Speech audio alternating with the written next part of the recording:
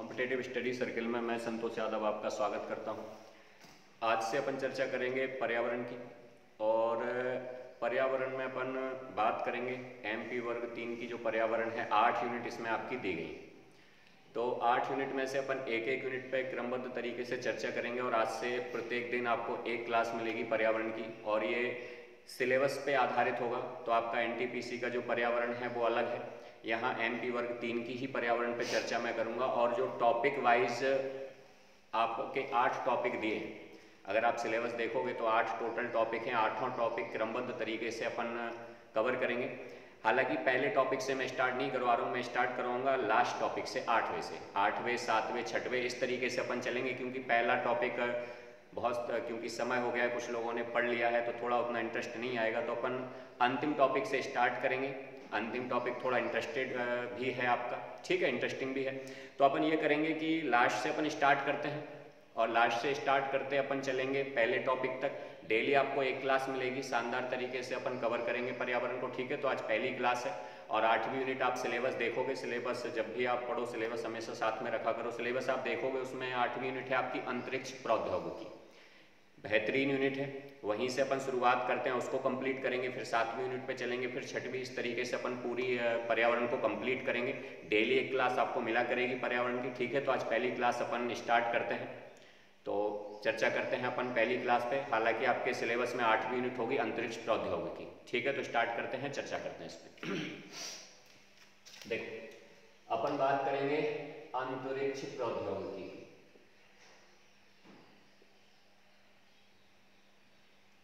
तो आपके अंतरिक्ष विज्ञान करके आपका होगा टॉपिक पूरा कंप्लीट अंतरिक्ष विज्ञान।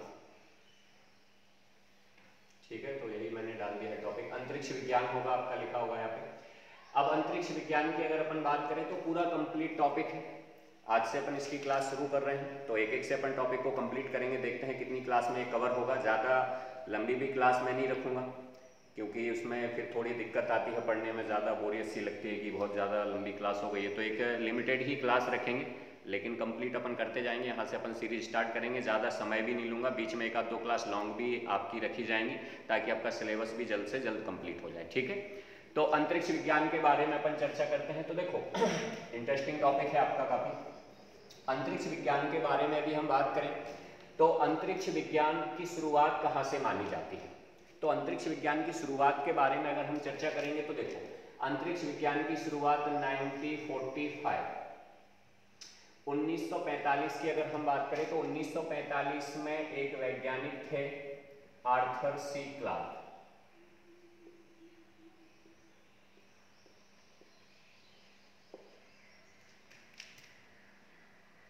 Arthur C Clarke.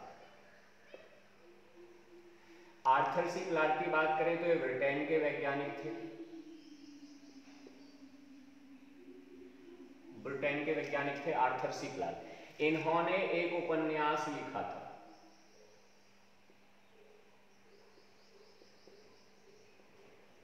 तो आर्थर सी क्लार्क ने एक उपन्यास लिखा। इस उपन्यास में मैं इन्होंने सबसे पहले चर्चा की थी कि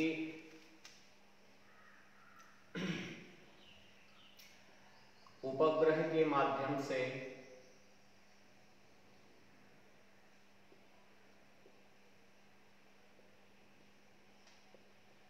रेडियो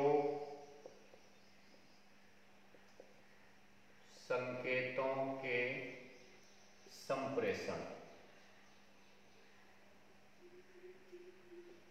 का सिद्धांत देखो यहाँ अगर अपन चर्चा करें आर्थर सी क्लार्क की तो ये ब्रिटेन के वैज्ञानिक थे। तो ब्रिटेन के वैज्ञानिक थे, इन्होंने एक उपन्यास लिखा और इस उपन्यास में, देखो, इस उपन्यास की अगर अपन बात करें तो इन्होंने उपग्रह के माध्यम से रेडियो संकेतों के संप्रेषण का सिद्धांत दिया था। यानी आर्थर सी क्लार्क की अगर अपन बात कर लेते हैं तो इन्होंने एक सिद्धांत दिया था, वो किससे संबंधित था? इन्होंने बोला कि उपग्रह के माध्यम से अपन क्या कर सकते हैं? उपग्रह के माध्यम से रेडियो जो संकेत हैं, उनको संप्रेषित कर सकते हैं। ये 1945 की बात है 1945 की बात है। ठीक? तो ये 1945 की बात है, आर्थर सी क्लार्क ब्रिटेन के वैज्ञानिक थे। ठीक है? तो वैज्ञानिक लेखक भी आप इनको कह सकते हो, क्योंकि इन्होंने उपन्यास में क्या किया था, एक सिद्धांत दिया था। लेकिन उस समय किसी ने भी इनके सिद्धांत को मान्यता नहीं दी। और सभी लोगों ने इनको क्या बोला? कल्पना जगत का वैज्ञानिक के नाम से जाने गए। सभी ने इनको बोला कि कल्पना जगत के वैज्ञानिक।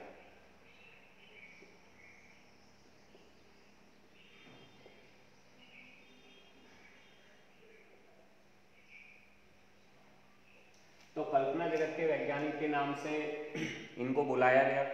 किसी ने भी इनकी बात नहीं मानी, क्योंकि इन्होंने जो बात की थी 1945 तक। कहीं पे भी इस तरीके की, जो वैज्ञानिक थे और किसी वैज्ञानिक ने इस तरीके की सोच को नहीं दिखाया था, कोई और वैज्ञानिक इस तरीके की सोच को लेकर सामने नहीं आया था।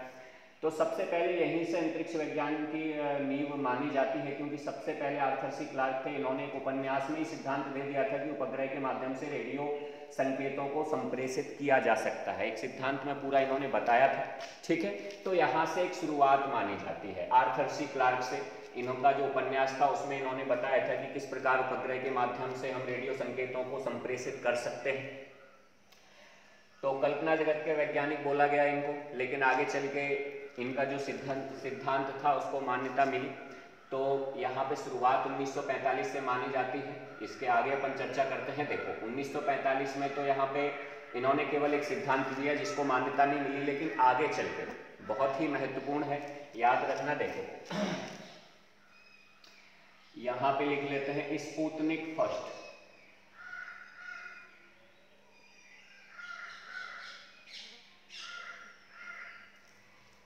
स्पुतनिक फ़र्स्ट का नाम सभी लोगों ने सुना होगा, ये अंतरिक्ष यान था।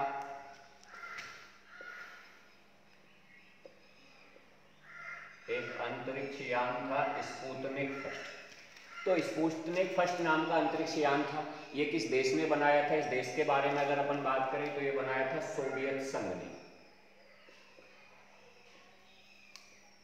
सोवियत संघ। तो सोवियत संघ ने स्पूतनिक फ़र्स्ट नाम का एक अंतरिक्ष यान बनाया।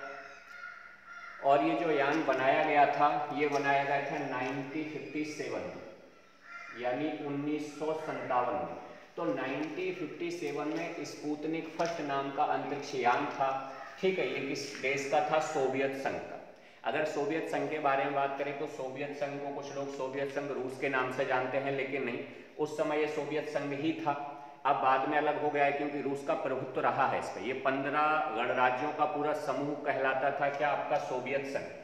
ये लगभग 1922 से लेके उन्नीस सौ इक्यानवे तक सोवियत संघ के नाम से जाना गया और रूस का प्रभुत्व होने के कारण इसको क्या कहा जाता था? सोवियत संघ रूस के नाम से भी संबोधित कर दिया जाता था, ठीक है? वैसे सोवियत संघ था उस समय, फिर ये अब अलग अलग हो गया है तो भूगोल में इस पर कभी चर्चा करेंगे अपन। तो सोवियत संघ की बात करें तो स्पूतनिक फ़र्स्ट नाम का जो अंतरिक्ष यान था, सबसे पहले, ये बहुत ही फ़ेमस क्वेश्चन है, बहुत ही फ़ेमस क्वेश्चन है, यहाँ से क्वेश्चन पूछा जा सकता है स्पूतनिक फ़र्स्ट से।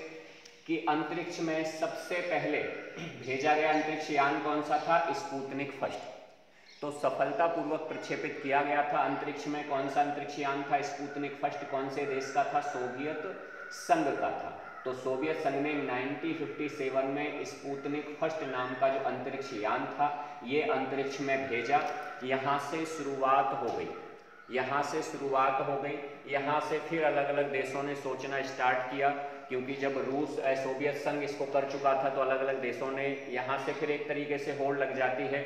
उपग्रहों को भेजने की अंतरिक्ष यानों को भेजने की, ठीक है, रॉकेटों को भेजने की, यहाँ से फिर होड़ लगती है। देश अलग अलग प्रकार की रिसर्च करना शुरू कर देते हैं। तो एक काफ़ी फ़ेमस क्वेश्चन है। स्टार्टिंग कहाँ से हुई? स्पुतनिक फ़र्स्ट से 1957 में। ये बहुत ही छोटे आकार का था। अगर इसके आकार की बात करें तो अपन इसको कह सकते हैं, ये वॉस्केट के आकार का था। वॉस्केट बॉल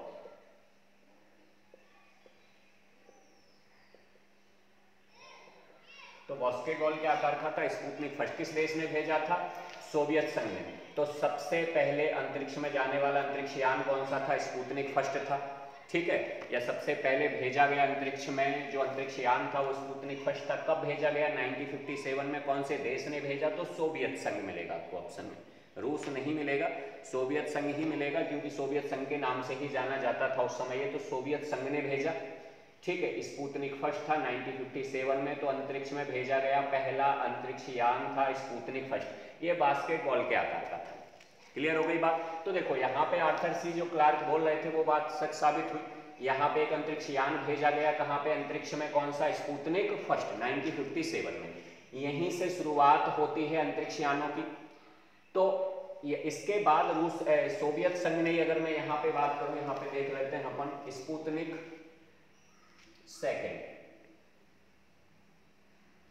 तो स्पुतनिक सेकेंड की बात कर लेते हैं, ये भी काफ़ी फ़ेमस है। ये भी भेजा गया था 1957 में। दोनों में ज़्यादा अंतर नहीं था। स्पुतनिक फ़र्स्ट लगभग अक्टूबर 1957 में भेजा गया था, ये नवंबर 1957 में। दोनों में लगभग लगभग स्पुतनिक फ़र्स्ट में और स्पुतनिक सेकंड में। केवल और केवल ज़्यादा अंतर नहीं था, एक महीने का अंतर था दोनों में भेजने में, ठीक है? तो स्पुतनिक द्वितीय भी भेजा गया, क्योंकि सीरीज़ कौन सी है? स्पुतनिक तो ये भी किसने भेजा होगा? ये भी भेजा था सोवियत संघ ने। तो ये भी भेजा गया था सोवियत संघ के द्वारा, ठीक है? तो ये भी सोवियत संघ ने भेजा, स्पुतनिक द्वितीय था 1957 में भेजा गया, देखो। स्पुतनिक फ़र्स्ट को सफलतापूर्वक भेज चुका था सोवियत संघ। उसके बाद सोवियत संघ ने यहाँ पे एक एक्सपेरिमेंट किया, यहाँ पे एक जानवर को भेजा। यहाँ एक जानवर को भेजा तो क्वेश्चन ये आ जाता है कि अंतरिक्ष में सबसे पहले कौन गया था? तो अंतरिक्ष में सबसे पहले एक जानवर गया था, कौन से अंतरिक्ष यान से गया था? स्पुतनिक द्वितीय तो स्पुतनिक द्वितीय नाम के अंतरिक्ष यान से 1957 में एक जानवर सबसे पहले अंतरिक्ष की यात्रा करने गया था, उसका नाम पूछ लिया जाता है तो उसका नाम यहाँ पे अपन लिख लेते हैं, उस जानवर का नाम क्या था? लाइका। लाइका इसका नाम था और लाइका क्या थी? एक कुटिया थी। तो लाइका नाम की कुटिया को सोवियत संघ ने 1957 में स्पुतनिक द्वितीय नाम के अंतरिक्ष यान से अंतरिक्ष में भेजा तो सबसे पहले कुटिया ने अंतरिक्ष की यात्रा की, जिसका नाम क्या था? लाइका लेकिन अंतरिक्ष की अगर हम बात करें तो ये कुछ ही समय में। देखो, अत्यधिक ताप और ऊष्मा।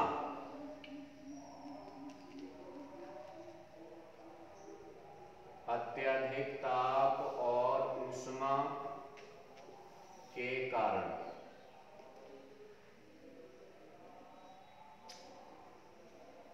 अत्यधिक ताप और उष्मा के कारण ये जो लाइका नाम की कुतिया थी, ये कुछ ही समय में इसकी मौत हो गई।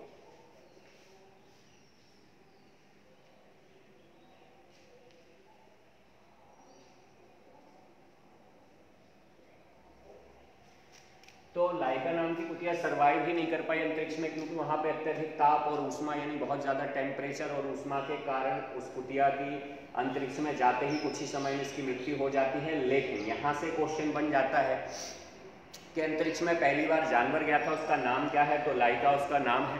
क्या था ये? एक कुतिया थी लाइका। किस अंतरिक्ष यान से इसको भेजा गया? स्पूतनिक द्वितीय।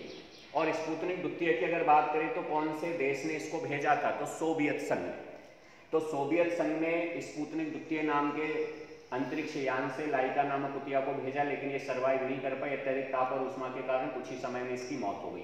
तो यहाँ पे देखो, अंतरिक्ष विज्ञान की अपन चर्चा कर रहे थे। ठीक है? तो अंतरिक्ष विज्ञान की अपन यहाँ पे चर्चा कर रहे थे। 1945 में एक अपन वैज्ञानिक लेखक कह सकते हैं, आर्थर सी क्लार्क थे, कहाँ से संबंधित थे? ब्रिटेन से इन्होंने एक उपन्यास लिखा, उसमें इन्होंने बताया कि उपग्रह के माध्यम से हम रेडियो को, रेडियो जो संकेत हैं, उनको संप्रेषित कर सकते हैं, यानी यहाँ से हम रेडियो संकेतों को उपग्रह के पास भेज सकते हैं, उपग्रह से दूसरी जगह भेज सकते हैं, ये पूरा सिद्धांत इन्होंने दिया, लेकिन उस समय इनको, ये सिद्धांत को कोई ऐसी मान्यता नहीं मिली, इनको कल्पना जगत के वैज्ञानिक लेखक कहा गया। उसके बाद लेकिन जब सोवियत संघ ने स्पुतनिक फ़र्स्ट नाम का अंतरिक्ष यान भेजा, सबसे पहले 1957 में तो सबसे पहला अंतरिक्ष यान जो अंतरिक्ष में सफलतापूर्वक भेजा गया वो है स्पुतनिक फ़र्स्ट और याद रखना किसने भेजा? सोवियत संघ ने। ये बास्केटबॉल के आकार का था, उसके बाद भेजा गया क्या? स्पुतनिक द्वितीय 1957 में, दोनों में लगभग एक महीने का अंतर था भेजने में। इसके द्वारा लाइका नाम की कुटिया को भेजा गया। ठीक है, जिसकी कुछ ही समय में अंतरिक्ष में जाने के बाद मौत हो जाती है, क्योंकि वहाँ पर टेम्परेचर जो है बहुत ज़्यादा होता है, उष्मा भी बहुत ज़्यादा होती है, ठीक है? तो यहाँ स्पूतनिक फ़र्स्ट और स्पूतनिक द्वितीय। 1957 में भेजे गए। दोनों ही महत्वपूर्ण है, याद रखना, इसके आगे अपन चर्चा कर लेते हैं। तो इसको पहले अपन हटा लेते हैं। इसको नोट कर सकते हो आप लोग। हटाते हैं इसको पहले, आगे के लिखते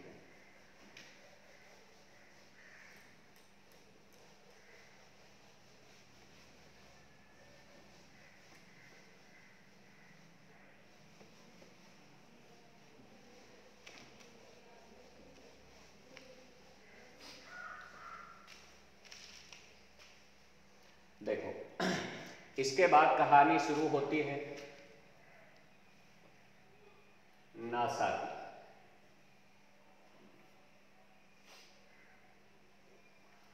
नासा का नाम सभी लोगों ने सुना होगा। कहा कि अंतरिक्ष एजेंसी है ये अमेरिका की। तो यहाँ से दो तीन क्वेश्चन बनते हैं, उन पर चर्चा कर लेते हैं। पहले तो ये है कहा कि अंतरिक्ष एजेंसी अमेरिका की है। अमेरिका की अंतरिक्ष एजेंसी है। और यहाँ पे देखो, एक बात याद रखना, अगर क्वेश्चन कभी भी आता है विश्व की सबसे बड़ी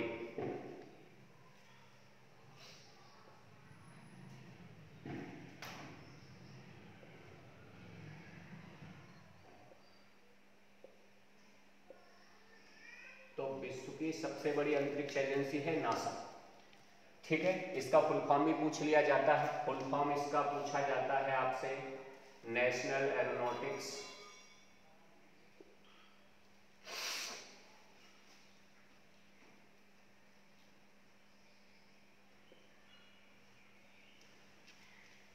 स्पेस एडमिनिस्ट्रेशन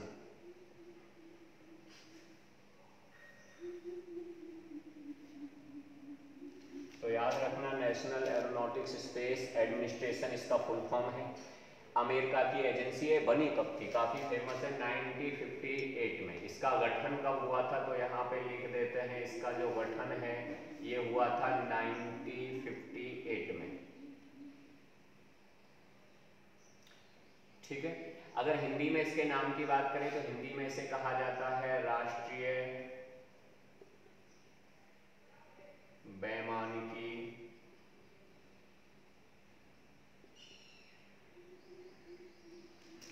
और अंतरिक्ष प्रबंधन।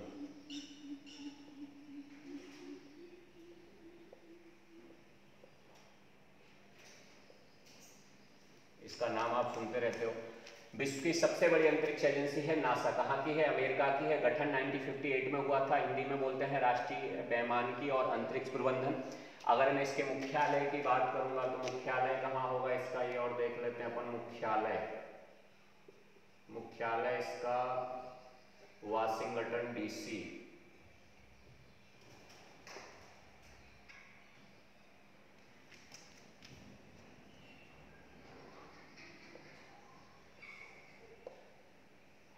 भूगोल में आपसे पूछ लिया जाता है, बताओ डीसी का फुल फॉर्म क्या होगा? भूगोल में वाशिंगटन डीसी देता है बोलता है डीसी का डिस्ट्रिक्ट ऑफ़ कोलंबिया डी का मतलब डिस्ट्रिक्ट ऑफ़ सी का मतलब होता है कोलंबिया तो डीसी का फुल फॉर्म होता है डिस्ट्रिक्ट ऑफ़ कोलंबिया भूगोल में पूछ लिया जाता है। तो मुख्यालय इसका वाशिंगटन डीसी है किसका नासा का विश्व की सबसे बड़ी अंतरिक्ष एजेंसी है। अगर इसके फुल फॉर्म की बात करेंगे तो national aeronautics space administration national aeronautics space administration इसका फुल फॉर्म है। अमेरिका की सबसे बड़ी एजेंसी है। और अगर विश्व की भी बात करें तो विश्व की सबसे बड़ी अंतरिक्ष एजेंसी है ये नासा क्लियर है? गठन 1958 में हुआ राष्ट्रीय पैमानिकी और अंतरिक्ष प्रबंधन हिंदी में इसको बोल दिया जाता है। मुख्यालय है इसका वाशिंगटन डीसी तो यहाँ से उन्नीस के बाद उन्नीस में नासा का गठन हो गया। ये विश्व की सबसे बड़ी अंतरिक्ष एजेंसी है तो यहाँ से अंतरिक्ष विज्ञान के क्षेत्र में।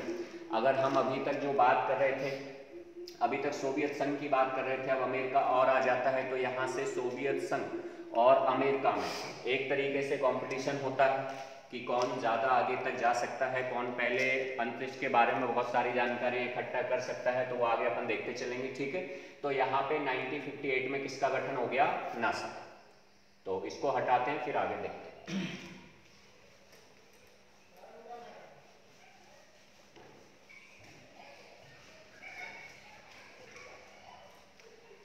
अब इसके बाद अपन बात करते हैं, देखो लूना मिशन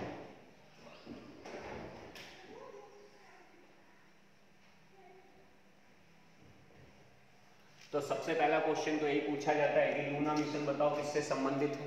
तो लूना मिशन आपसे पूछ लिया जाता है कि लूना मिशन किससे संबंधित होगा? तो देखो लूना मिशन सबसे पहला तो क्वेश्चन यही है तो याद रखना यहाँ पे ये चंद्रमा से संबंधित है। किससे?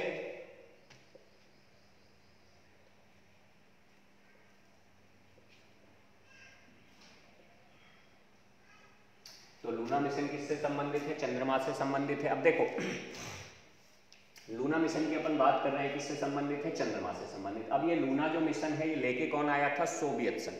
कौन लेके आया था? सोवियत संघ लेके आया था। तो यहाँ पे लिख सकते हैं, सोवियत संघ।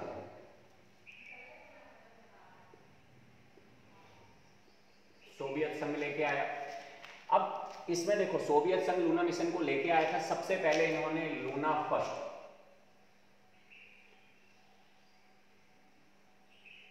लूना प्रथम लूना प्रथम असफल यानी लूना फ़र्स्ट को चंद्रमा पे भेजने वाला था सोवियत संघ, लेकिन ये सफल नहीं हो पाया, ये मिशन इनका असफल रहा. लूना प्रथम जो मिशन था वो असफल रहा, इसके बाद आता है लूना द्वितीय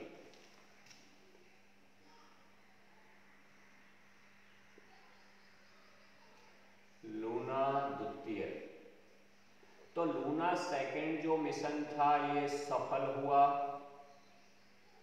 किसके? कब हुआ ये? 1959 में।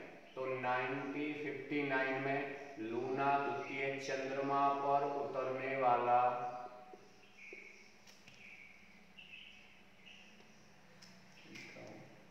चंद्रमा पर उतरने वाला। प्रथम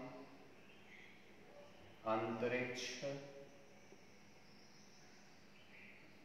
यान वेरी वेरी इंपॉर्टेंट बन जाता है क्वेश्चन की चंद्रमा पर उतरने वाला प्रथम अंतरिक्ष यान कौन था? लूना द्वितीय कब? 1959 में। कौन से देश का था ये?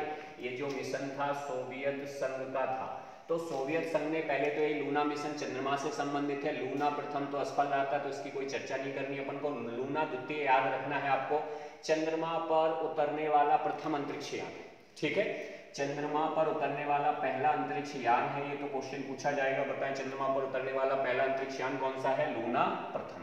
क्लियर हो गई ये बात? याद रखना, कब? 1959 में। कौन से देश ने भेजा था? सोवियत संघ। क्लियर हो गई बात? चलो। अब देखो, अभी अपन ने समझ लिया। अपन ने सबसे पहले देखा स्पूतनिक फ़र्स्ट। तो केवल वो अंतरिक्ष यान ही गया था अंतरिक्ष में स्पूतनिक द्वितीय के द्वारा एक जानवर गया चंद्रमा पर भी एक यान पहुँच गया। अभी चंद्रमा पर कोई व्यक्ति नहीं पहुँचा, आगे पहुंचेगा। तो लूना द्वितीय के द्वारा चंद्रमा पे, यानी लूना द्वितीय चंद्रमा पर उतरने वाला पहला अंतरिक्ष यान बन गया। अभी कोई व्यक्ति अंतरिक्ष में भी नहीं पहुँचा है। तो देखो, इसके आगे क्या हुआ? सोवियत संघ की ही अपन बात कर रहे हैं। तो सोवियत संघ ने एक मिशन भेजा, बोस्टॉक प्रथम।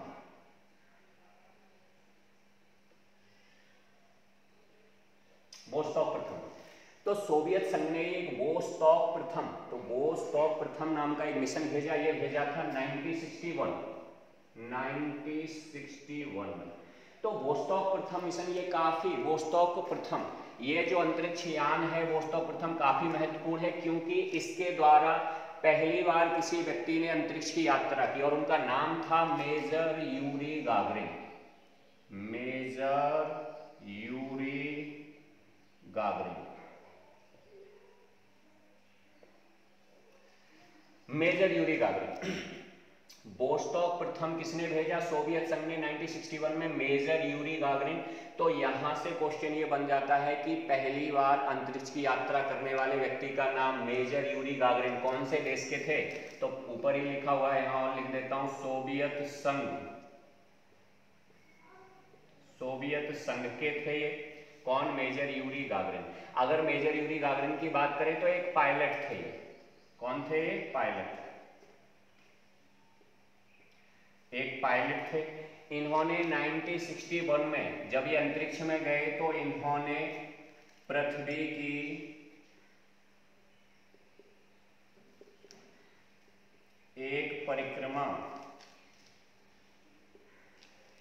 पूरी की।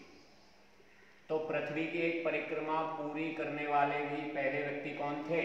मेजर यूरी गागरिन थे वोस्टॉक प्रथम से ये गए थे, कौन से देश के थे? सोवियत संघ के क्या थे? एक पायलट और ये सफलता पूर्वक वापस भी लौटे। सफलता पूर्वक वापस लौटे।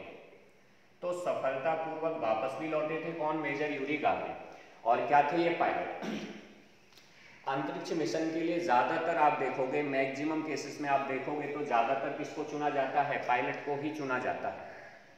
यानी जिनको थोड़ा अभ्यास होता है, क्योंकि पायलट आपको पता है प्लेन वगैरह में तो उनको पहले से इनका जो एक अभ्यास भी कह सकते हो अनुभव भी कह सकते हो, इस तरीके से इनकी सारी चेकअप वगैरह पहले से ही हुए रहते हैं, इनको पहले से अनुभव भी रहता है उस तरीके का। ठीक है स्वास्थ्य संबंधी कोई समस्या ना हो, ऐसे ही व्यक्तियों को चुना जाता है अंतरिक्ष के लिए। तो ज़्यादातर पायलटों को चुना जाता है। तो ये भी क्या पायलट थे? मेजर यूरी गागरिन ठीक है, सोवियत संघ देश के थे। सफलतापूर्वक वापस भी लौटे, पृथ्वी की एक परिक्रमा पूरी करके 1961 में वोस्टॉक नाम के वोस्टॉक प्रथम नाम के अंतरिक्ष यान से गए थे मेजर यूरी गागरिन बाद में इनकी मृत्यु हो जाती है। ये मिग पंद्रह, मिग फिफ्टी, मिग पंद्रह जहाज़ को उड़ा रहे थे। तो मिग पंद्रह जहाज़ को उड़ाते हुए इनकी मृत्यु हो जाती है किसकी? मेजर यूरी गागरिन की। तो पायलट थे ये। तो सबसे पहले व्यक्ति जिन्होंने अंतरिक्ष की यात्रा की वो कौन थे? मेजर यूरी गागरिन मैं यहाँ पे लिख देता हूँ, प्रथम व्यक्ति। लिख देता हूँ यहाँ पे, प्रथम व्यक्ति।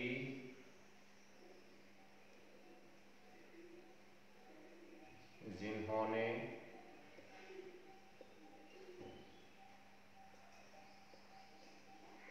अंतरिक्ष की यात्रा की कौन थे वो मेजर यूरी गागरिन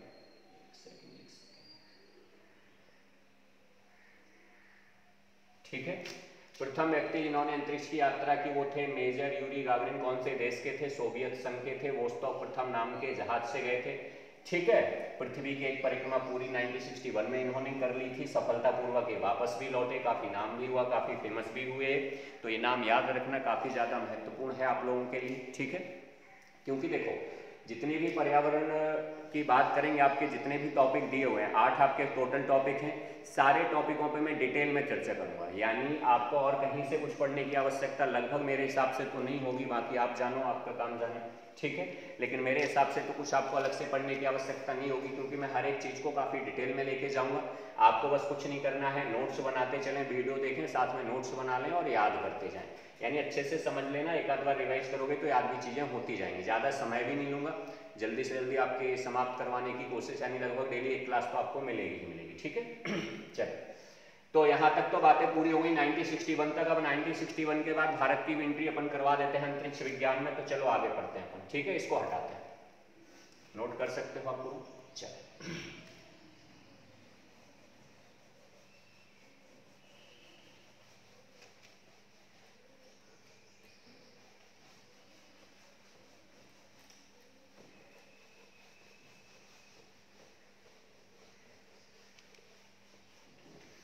चलो। भारत की एंट्री करवाते हैं। कहा से? होमी जहांगीर भाभा से। होमी जहांगीर भाभा तो डॉक्टर होमी जहांगीर भाभा की अगर हम बात करें तो यहाँ से भारत की एंट्री होती है। देखो, होमी जहांगीर भाभा परमाणु ऊर्जा विभाग, परमाणु ऊर्जा विभाग। तो परमाणु ऊर्जा विभाग के प्रथम अध्यक्ष थे, प्रथम अध्यक्ष।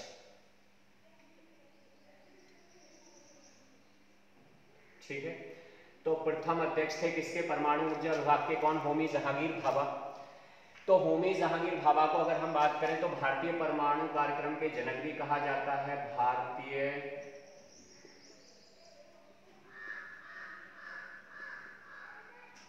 परमाणु कार्यक्रम के जनक।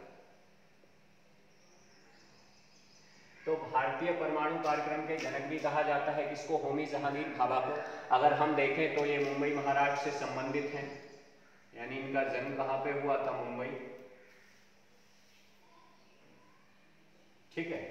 तो मुंबई में इनका जन्म हुआ, मुंबई महाराष्ट्र से संबंधित है। कौन? होमी जहांगीर भाभा परमाणु ऊर्जा विभाग के प्रथम अध्यक्ष भी थे। भारतीय परमाणु कार्यक्रम के जनक के नाम से भी जाना जाता है। इनको देखो। अब शुरुआत कैसे हुई अंतरिक्ष विज्ञान में भारत की? इन्होंने 1962 में, उन्नीस में उन्नीस में होमी जहांगीर भाभा ने, देखो, परमाणु ऊर्जा विभाग के अंतर्गत ही एक नए विभाग का गठन किया। परमाणु ऊर्जा विभाग के अंतर्गत एक नए विभाग का गठन किया, जिसका नाम था इनकोस्पा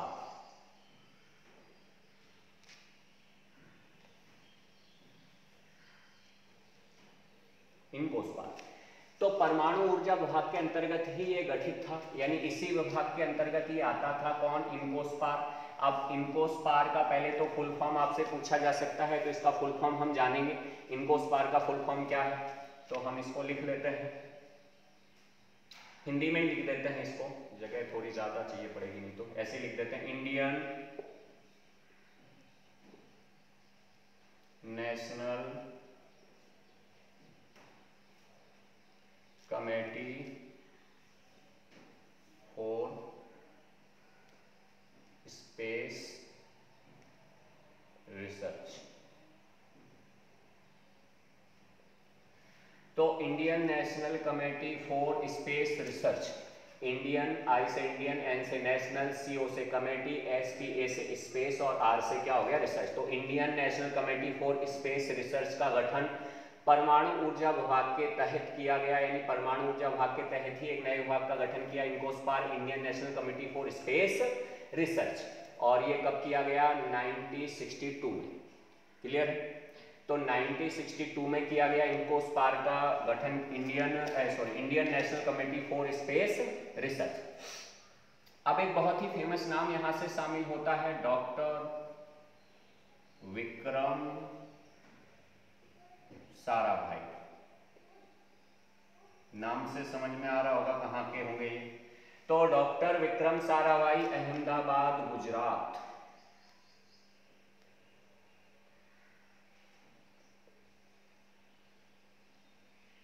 अहमदाबाद गुजरात के रहने वाले थे। यानी इनका जन्म कहा हुआ? अहमदाबाद, गुजरात में हुआ डॉक्टर विक्रम साराभाई का। तो इसको बनाया गया अध्यक्ष किसका? Indian National Committee for Space Research. यानी इनको स्पार जो बनाई गई उसका अध्यक्ष कौन बनाया गया? विक्रम साराभाई। इसका जो अध्यक्ष था, इसका अध्यक्ष बनाया गया विक्रम साराभाई को। देखो अगर हम इनके बारे में बात करें, यहाँ से एक फ़ेमस क्वेश्चन अंतरिक्ष।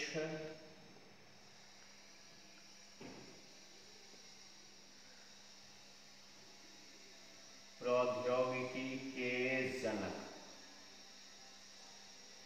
तो अंतरिक्ष प्रौद्योगिकी के जनक किसे कहा जाता है? डॉक्टर विक्रम साराभाई को। यहाँ से एमपीपीएससी 2000 अभी जो पेपर हुआ था 20 में तो अंतरिक्ष प्रौद्योगिकी का जनक। ये पूछा गया था कि भारत, यानी अंतरिक्ष प्रौद्योगिकी का जनक मुझे सही से आनी है। लगभग यही क्वेश्चन था कि अंतरिक्ष प्रौद्योगिकी के जनक किसे कहा जाता है? डॉक्टर विक्रम साराभाई को। और शुरुआत, अगर हम बात करें अंतरिक्ष प्रौद्योगिकी की, भारत में शुरुआत करने वाले भी कौन थे? डॉक्टर विक्रम साराभाई यहीं से शुरुआत होती है एमपीपीएससी 2020 में, शायद प्री में क्वेश्चन आया था। तो डॉक्टर विक्रम साराभाई काफ़ी फ़ेमस नाम है क्योंकि इन, इनको स्पार की जो गठन हुआ था सबसे पहले अध्यक्ष कौन थे? डॉक्टर विक्रम साराभाई। आगे अपन और देखते हैं इसको। तो अहमदाबाद गुजरात के रहने वाले थे। अब ये जो परमाणु ऊर्जा विभाग था इसी के अंतर्गत आता था कौन? इनकोस्पा तो Indian National Committee for Space Research doctor Vikram Sarabhai Ahmedabad Gujarat पहले अध्यक्ष इसके बनाए गए किसके? इनकोस्पार के। अब देखो, यहाँ पे एक तो इनकोस्पार का गठन किया गया, यहीं पे अपन देखते हैं, यहाँ पे देखो, थुम्बा।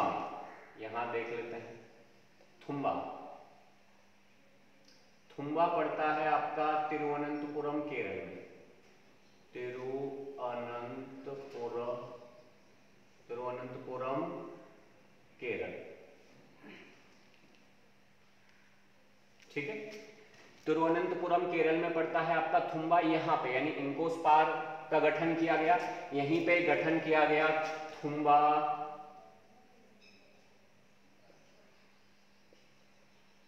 भूमध्य रेखीय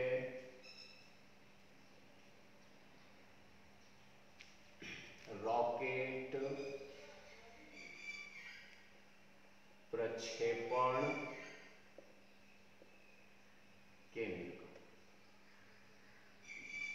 तो थुम्बा भूमध्य रेखीय रॉकेट प्रक्षेपण केंद्र। ये कहाँ पे? थुम्बा में। देखो, केरल में एक जिला है तिरुवनंतपुरम, उसी का एक गाँव था थुम्बा। यहीं पे थुम्बा भूमध्य रेखीय रॉकेट प्रक्षेपण केंद्र खोला गया। इनको स्पार का गठन किया गया। यहीं पे एक रॉकेट प्रक्षेपण केंद्र भी खोला गया थुम्बा में। तो भारत का सबसे पहला रॉकेट प्रक्षेपण केंद्र कहाँ पे खोला गया? तो थुम्बा, केरल, आप कह सकते हो, ठीक है? तिरुवनंतपुरम यानी केरल का एक जिला है, तिरुवनंतपुरम, उसी में एक थुम्बा गाँव है। वहाँ पे सबसे पहला रॉकेट प्रक्षेपण केंद्र खोला गया और इनको स्पार्की का गठन भी कर दिया गया, किसके अंतर्गत? परमाणु ऊर्जा विभाग के अंतर्गत। देखो, यहाँ से क्वेश्चन एक तो ये बन गया अपने लिए।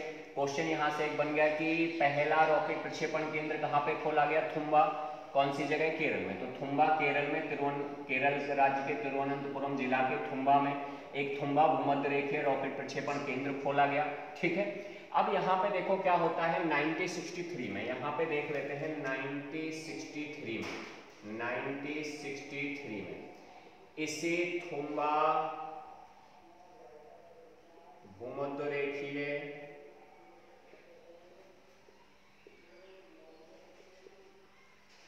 रॉकेट प्रक्षेपण, जो केंद्र है आपका। देखो थुम्बा भूमध्य रेखीय रॉकेट प्रक्षेपण केंद्र से पहला साउंडिंग रॉकेट पहला साउंडिंग रॉकेट जिसका नाम काफ़ी फ़ेमस क्वेश्चन है यहाँ से नाइक अपाचे।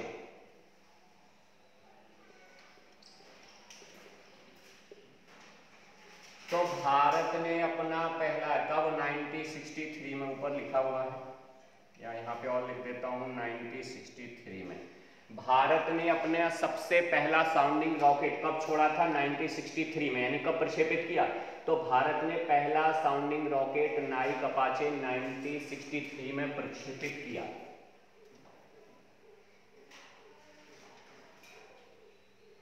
और क्वेश्चन पूछा जाएगा कहाँ से प्रक्षेपित किया? तो थुम्बा भूमध्य रेखीय रॉकेट प्रक्षेपण केंद्र से प्रक्षेपित किया गया नाइक अपाचे 1963 में। तो भारत ने पहला साउंडिंग रॉकेट लेकिन ये याद रखना क्योंकि भारत ने केवल क्या किया था, इसको प्रक्षेपित किया था, बाकी नाइक अपाचे बना कहाँ पे था? नाइक अपाचे भारत ने स्वयं नहीं बनाया था, ये रॉकेट बनाया था अमेरिका ने। ये रॉकेट अमेरिका ने बनाया था, और अमेरिका भी देखना चाह रहा था कि भारत ये कर पाता है कि नहीं कर पाता है। तो अमेरिका ने दिया था कि शायद भारत देखते हैं कर पाता है या नहीं कर पाता है। तो अमेरिका ने एक नाइक अपाचे साउंडिंग रॉकेट था, इसको बना के दे दिया। 1963 में भारत ने इसको प्रक्षेपित कर लिया क्योंकि थुम्बा भूमध्य रेखीय रॉकेट प्रक्षेपण जो केंद्र था, यहाँ से सफलतापूर्वक प्रक्षेपित किया गया। तो अंतरिक्ष में प्रक्षेपित किया जाने वाला पहला जो रॉकेट था, वो नाइक अपाचे था, एक साउंडिंग रॉकेट था, लेकिन ये बनाया अमेरिका ने था भारत ने केवल इसको प्रक्षेपित किया था। क्लियर हो गई बात? ये कब किया? 1963 में। और याद रखना इसको, थुम्बा भूमध्य रेखीय रॉकेट प्रक्षेपण केंद्र को टल्स के नाम से भी जाना जाता है। T E R L S टल्स के नाम से भी इसको जाना जाता है, याद रखना। थुम्बा इक्वेटोरियल ये फुल फॉर्म इसका लिख लेते हैं अपन। यहाँ पे लिख देते हैं, Thumba equatorial rocket launching station ठीक है ये इसका फुल फॉर्म है टर्न्स के नाम से भी जाना जाता है थुम्बा भूमध्य रेखीय रॉकेट प्रक्षेपण केंद्र को। टर्न्स का फुल फॉर्म टी से थुम्बा ई से इक्वेटोरियल आर से रॉकेट एल से लॉन्चिंग और एस से क्या हो जाएगा? स्टेशन तो टर्न्स के नाम से भी जाना जाता है थुम्बा भूमध्य रेखीय रॉकेट प्रक्षेपण केंद्र। भारत का पहला रॉकेट प्रक्षेपण केंद्र था। तो यहाँ पे और लिख देता हूँ मैं, भारत का पहला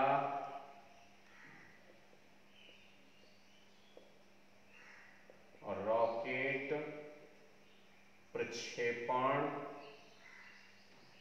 केंद्र, कौन सा था? यहीं पे लिख देता हूँ, ये टर्स कह लो, एक ही नाम से ठीक है। तो यहाँ तक मेरे हिसाब से कोई दिक्कत नहीं होगी। तो इनकोस पार की स्थापना हो गई 1962 में, अध्यक्ष बना दिया गया डॉक्टर विक्रम सारा भाई को। ठीक है? और यहीं पे आपका टल्स की भी स्थापना हो गई। भारत ने पहला नाइक अपाची 1963 में जो अमेरिका ने बनाया था। ठीक है रॉकेट था, एक साउंडिंग रॉकेट इसको भी लॉन्च कर दिया है। इसको भी अंतरिक्ष में भेज दिया है। तो इसके आगे की अपन चर्चा करते हैं। चलो। देखो।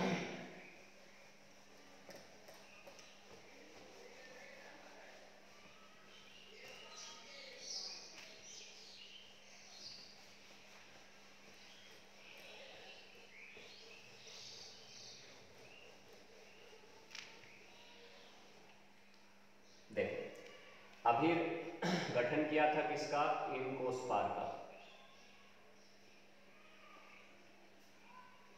देखो, इसी का पुनर्गठन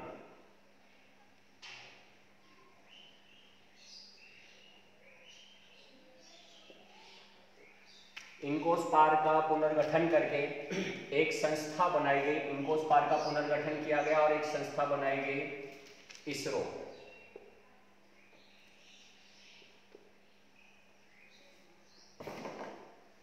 तो इनको स्पार का ही पुनर्गठन करके इसरो बनाया गया था। इसरो ये बहुत ही महत्वपूर्ण, यानी अगर अपन भारत की बात करें तो भारत की सबसे बड़ी अंतरिक्ष संस्था के बारे में बात करेंगे तो किसका नाम आता है, इसरो का नाम आता है, सभी लोगों ने सुना होगा। तो इसरो के बारे में अपन चर्चा कर लेते हैं। इसरो, इसका गठन कब हुआ था? ये हुआ था 15 अगस्त 1969 तो 15 अगस्त उन्नीस सौ उनहत्तर को इनकोस्पार का पुनर्गठन करके इसरो का गठन किया गया।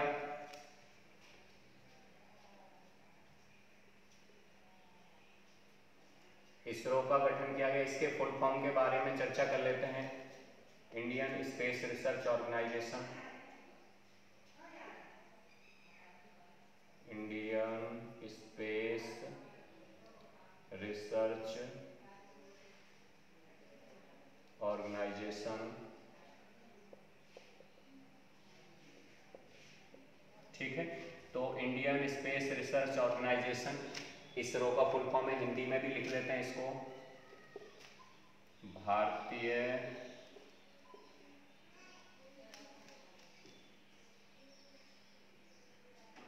अंतरिक्ष अनुसंधान संगठन। ठीक है? तो भारतीय अंतरिक्ष अनुसंधान संगठन भारत की सबसे बड़ी अंतरिक्ष एजेंसी है।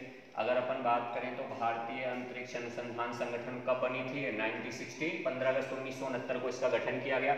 तो याद रखना, देखो इनको स्पार का ही पुनर्गठन करके इसरो बनाया गया। 15 अगस्त उन्नीस सौ उनहत्तर को इसका गठन किया गया। इंडियन स्पेस रिसर्च ऑर्गेनाइजेशन इसका फुल फॉर्म काफ़ी बार पूछा गया है। इंडियन स्पेस रिसर्च ऑर्गेनाइजेशन भारतीय अंतरिक्ष अनुसंधान संगठन। अब इसके बारे में अगर अपन बात करें तो देखो, इसका एक ध्येय वाक्य बनाया गया। ध्येय वाक्य।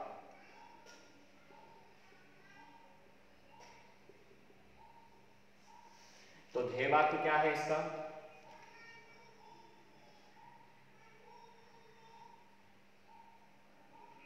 मानव की सहायता के लिए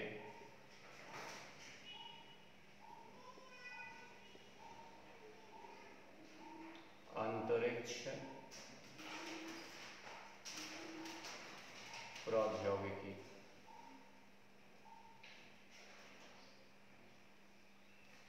इसका मुख्यालय याद रखना पड़ेगा आप लोगों मुख्यालय कहाँ पर है इसका? तो इसका जो मुख्यालय है वो बंगलौर में है।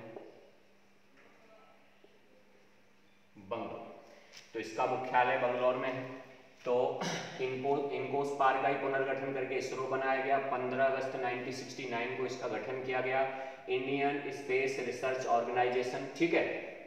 तो भारतीय अंतरिक्ष अनुसंधान संगठन के नाम से जाना जाता है। ध्येय वाक्य मानव की सहायता के लिए अंतरिक्ष प्रौद्योगिकी मुख्यालय इसका कहाँ पर है? मुख्यालय इसका पड़ता है बेंगलोर में। क्लियर है? देखो, अब इसके अध्यक्ष की बात कर लेते हैं, इसके प्रथम अध्यक्ष। तो यहाँ पे बात करते हैं इसरो के प्रथम अध्यक्ष।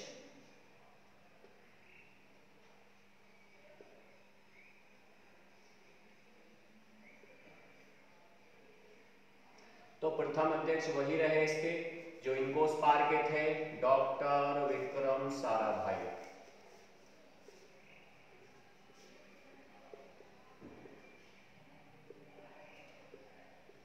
तो डॉक्टर विक्रम साराभाई को इसका पहला अध्यक्ष बनाया गया। इन्हीं को कहा जाता है भारतीय अंतरिक्ष प्रौद्योगिकी का जनक के नाम से भी इनको जाना जाता है। कौन? डॉक्टर विक्रम साराभाई को प्रथम अध्यक्ष थे किसके इसरो के। इसरो के अगर वर्तमान में आप बात करो तो अभी टोटल दस अध्यक्ष हो चुके हैं। अगर के सिवान को भी शामिल कर लिया जाए तो के सिवान दसवें अध्यक्ष हैं। पहले कौन थे? डॉक्टर विक्रम सारा भाई थे। इनके बारे में आपको, मैंने वहाँ पे थोड़ी सी जानकारी दी थी पीछे। ये अहमदाबाद, गुजरात के थे। अहमदाबाद।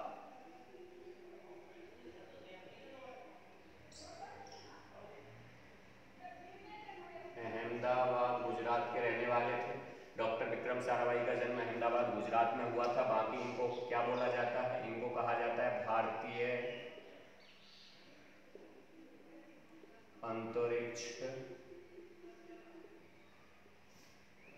प्रौद्योगिकी का जनक। क्लियर है? पहले भी बता चुका हूँ, काफ़ी इंपोर्टेंट क्वेश्चन है। एमपीपीएससी में भी पूछा गया था इस बार। भारतीय अंतरिक्ष प्रौद्योगिकी का जनक किसे कहा जाता है, डॉक्टर विक्रम साराभाई को अहमदाबाद, गुजरात के थे। पहले अध्यक्ष थे इसरो के। इसरो भारत की सबसे बड़ी अंतरिक्ष एजेंसी है, सबसे बड़ी अंतरिक्ष संस्था की बात करेंगे तो इसरो है। इसके बाद देखो, डॉक्टर विक्रम साराभाई के बाद ये तो पहले थे, तीसरे। यहाँ पे लिख देता हूँ मैं, यहाँ पे लिख देता हूँ, सतीश धवन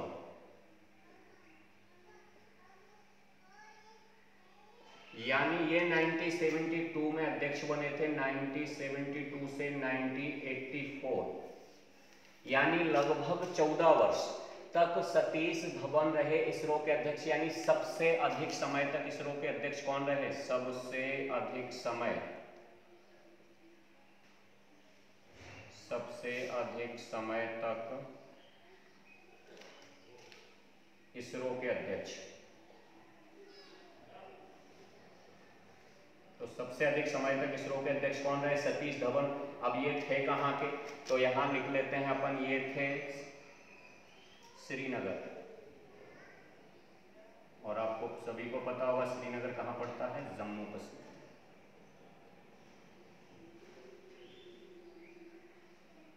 तो श्रीनगर, जम्मू कश्मीर के जो सतीश धवन थे 1972 से लेके उन्नीस तक, यानी सबसे अधिक समय तक इसरो के अध्यक्ष कौन रहे? सतीश धवन। क्लियर हो गई बात? पहले अध्यक्ष इसरो के डॉक्टर विक्रम साराभाई, जिनको भारतीय अंतरिक्ष प्रौद्योगिकी का जनक कहा जाता है। ठीक है? ये तीसरे थे, उन्नीस सौ बहत्तर से लगभग उन्नीस सौ चौरासी तक रहे सतीश धवन। सबसे अधिक समय तक इसरो के अध्यक्ष रहे हैं सतीश धवन। अब इसके बाद जो ये तीसरे नंबर के थे टोटल दस हुए हैं। इसके बाद वर्तमान में जो है, सभी लोग इनको जानते हो, दसवें नंबर के के सिवान। के सिवान। काफ़ी फ़ेमस रहे हैं ये, के सिवान। तो के सिवान की अगर अपन बात करें यहाँ पे तो के सिवान है कहाँ से? ये कन्याकुमारी कन्याकुमारी ज़िले के गाँव में इनका जन्म हुआ था। कन्याकुमारी, सभी को पता होगा कहाँ पड़ता है तमिलनाडु में। तो तमिलनाडु राज्य के कन्याकुमारी ज़िले के गाँव में इनका जन्म हुआ था, के सिवन का। और इनका ये ये क्वेश्चन आता है रॉकेट मैन के नाम से जाने जाते हैं ये। रॉकेट मैन आगे मिसाइल मैन के बारे में भी चर्चा करेंगे एपीजे अब्दुल कलाम, लेकिन ये किस नाम से जाने जाते हैं? रॉकेट मैन के नाम से जाने जाते हैं। तो के सिवान को रॉकेट मैन कहा जाता है। तमिलनाडु के कन्याकुमारी ज़िले के गाँव में इनका जन्म हुआ था। ये वर्तमान अध्यक्ष हैं। याद रखना, वर्तमान अध्यक्ष।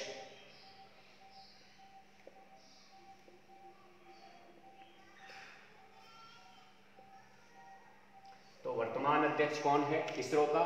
इसरो के वर्तमान अध्यक्ष के सिवान है। कन्याकुमारी ज़िले के गाँव में इनका जन्म हुआ था। रॉकेट मैन के नाम से जाने जाते हैं। अभी काफ़ी चर्चा में रहे हैं, आपको पता होगा। मिशन चंद्रयान द्वितीय, यहाँ पे लिख देते हैं, चंद्रयान द्वितीय।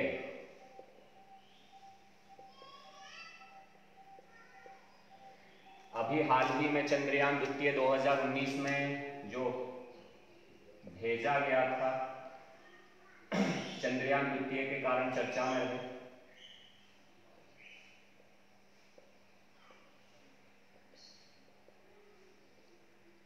इसलिए यहाँ से क्वेश्चन आ सकता है। चंद्रयान द्वितीय पूरी चर्चा करेंगे, तब फिर से इनकी बात होगी।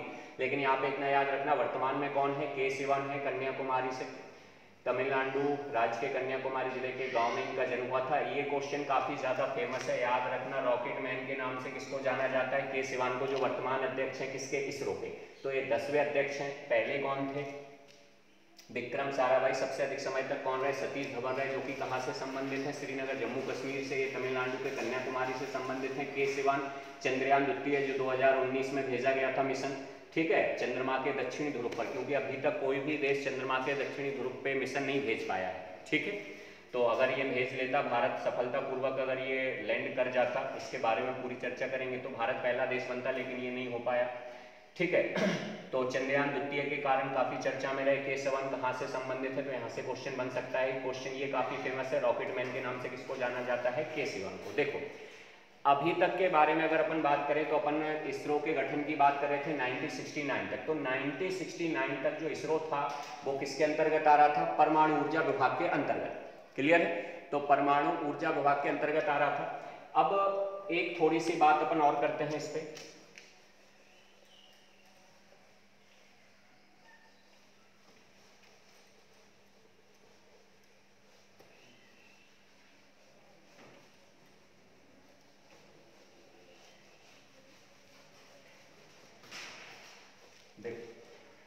परमाणु ऊर्जा विभाग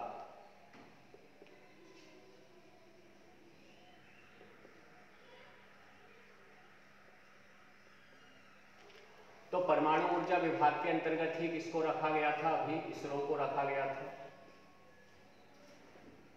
लेकिन 1972 में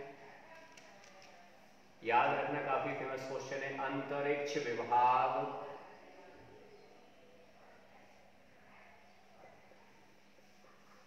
व अंतरिक्ष आयोग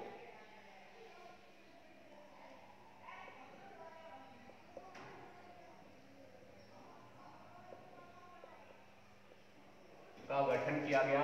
1972 में अंतरिक्ष विभाग व अंतरिक्ष आयोग का गठन किया गया और इसी के तहत, इसी के तहत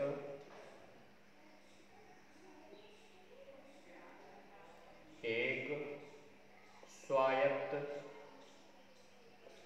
शासी संस्था के रूप में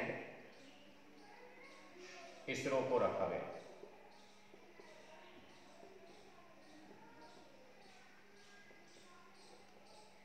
तो अभी अगर अपन चर्चा करेंगे तो इसरो किसके अंतर्गत आता है? अंतरिक्ष विभाग अंतरिक्ष आयोग के अंतर्गत आता है कौन इसरो?